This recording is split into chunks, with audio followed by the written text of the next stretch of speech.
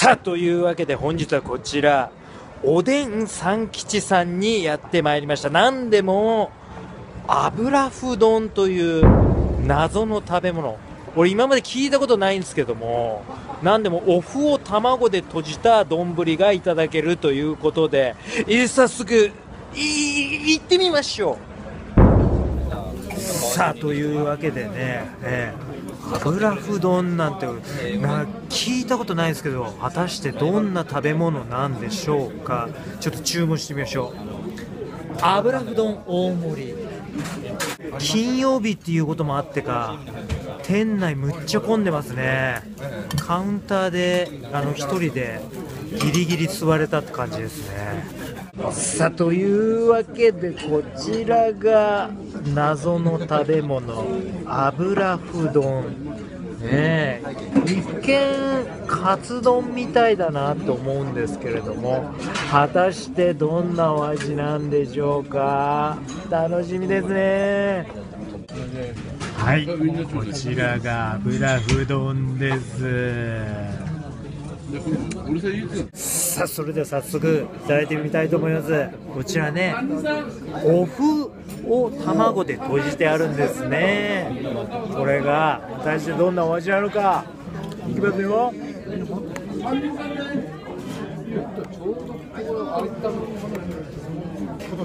出た3回空振り三振。ね。いやこれどんなお味なんでしょう。うん。うんうん。先ほどカツ丼みたいって言いましたけどまさにカツ丼ですよこれ。カツ丼の味。これお肉使ってないのにカツ丼。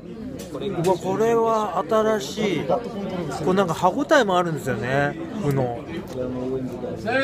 うん。うん。うん。これ紅生姜もいいアクセントで。う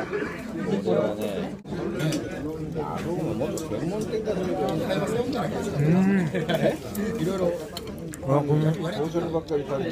だし汁の染みたお風呂卵で閉じてこう甘い味付けいやこれは新しいうん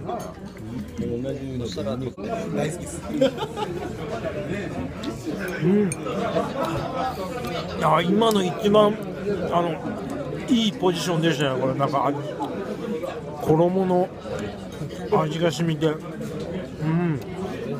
で卵と紅生姜とすごいあのバランスのいいところでした。うん。はい。というわけでこちらラスト一口。これやっぱ書き込めるっていうのいいですよね。